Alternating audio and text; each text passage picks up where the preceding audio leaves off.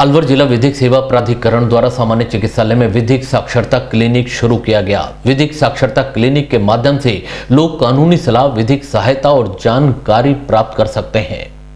इस क्लिनिक का उद्घाटन जिला प्राधिकरण के अध्यक्ष और जिला एवं सेशन न्यायाधीश अशोक कुमार व्यास द्वारा किया गया। उद्घाटन कार्यक्रम में मुख्य न्यायिक मजिस्ट्रेट प्रवीण कुमार मिश्रा, प्राधिकरण के पूर्णकालिक सचिव दिनेश कुमार जलथोरिया, प्रमुख चिकित्सा अधिकारी डॉक्टर भगवान साय, बर्न यूनिट के चिकित्सा प्रभारी doctor B L Neval, nursing अधीक्षक डॉक्टर निशी बाला सिंह आदि उपस्थित रहे। इस योजना के अंतर्गत प्राधिकरण की ओर से बर्न यूनिट में जले हुए व्यक्तियों, एसिड अटैक, पीड़ित एवं उनके आश्रितों को संबंधित सहायता योजनाओं की जानकारी प्रदान की जाएगी। यहाँ विधिक जानकारी के लिए para legal volunteer Imran Khan को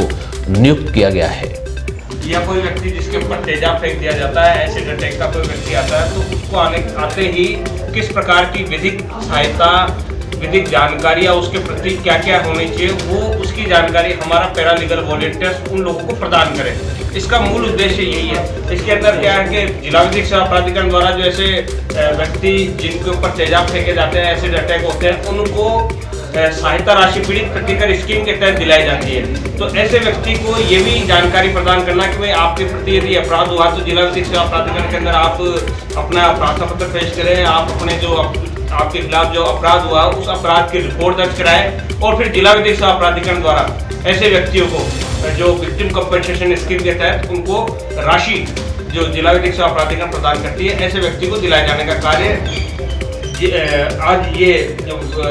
विधिक सेवा क्लिनिक जो खुला है, इसके अंदर बैठे पैरालीगल वॉलेंटियर